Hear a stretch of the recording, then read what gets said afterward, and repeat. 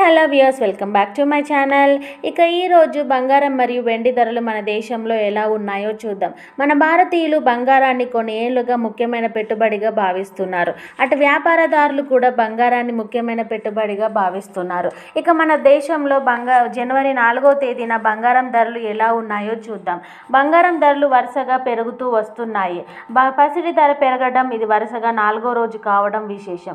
బంగారం ధర పెరిగితే అటు వెండి ధర మాత్రం కాస్త దిగి వచ్చింది. హైదరాబాద్ మార్కెట్లో సోమవారం బంగారం ధర పైకి పెరిగింది. పది గ్రాముల ఇరవై రెండు క్యారెట్ల బంగారం ధర నూట పదికి పెరిగింది. దీంతో ధర నలభై ఆరు వేల తొమ్మిది వందలకు చేరుకుంది. అదే సమయంలో పది గ్రాముల ఇరవై నాలుగు క్యారెట్ల బంగారం ధర నూట పదికి పెరిగింది. దీంతో ధర నలభై ఒక్క వేల నూట ఎనభై రూపాయలకు చేరుకుంది.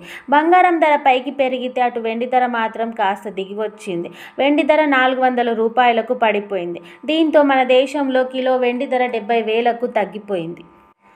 పరిశ్రమ యూనిట్లు నాణ్యపు తయారుల యొక్క డిమాండ్లు దీనికి ప్రధాన కారణంగా చెప్పుకోవచ్చు.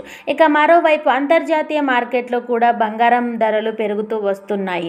బంగారం ధర ఔన్స్కు ఒకటి పాయింట్ మూడు శాతం గల పెరుగుదలతో పంతొమ్మిది వందల పంతొమ్మిది డాలర్లకు చేరుకుంది. బంగారం ధర పెరిగితే అటు వెండి ధర కూడా కాస్త పెరిగింది. వెండి ధర ఔన్స్కు మూడు పాయింట్ సున్నా తొమ్మిది శాతం గల పెరుగుదలతో ఇరవై ఏడు పాయింట్ రెండు రెండు డాలర్లకు పెరిగి చేరుకుంది. ఇక బంగారం మరియు వెండి ధరపై ప్రభావం చూపించే అంశాలు మన దేశంలో చాలానే ఉన్నాయి.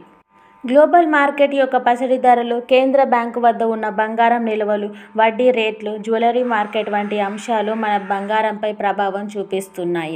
సో ఇదండి ఈరోజు బంగారం మరియు వెండి ధరలు. చూశారు కదండి జనవరి నాలుగో తేదీన ఉన్న బంగారం మరియు వెండి ధరలు. మరొక వీడియోలో మళ్ళీ కలుద్దాం.